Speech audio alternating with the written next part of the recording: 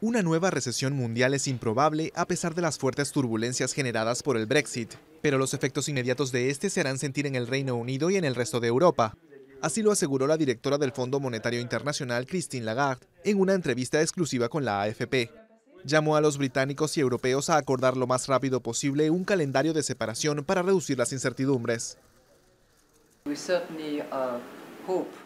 Desde luego, esperamos que todas las partes, tanto el Reino Unido como los actores de la Unión Europea, se decidan a reducir y eliminar la incertidumbre y aporten predictibilidad. Afirmó que la Unión Europea debe ser más transparente en su gestión, pues a su juicio el voto británico expresa un desencanto con la complejidad y opacidad de sus instituciones. No obstante del difuso panorama, Lagarde dijo que el Brexit podría paradójicamente ser un catalizador que empuje a los países del bloque a profundizar su integración económica.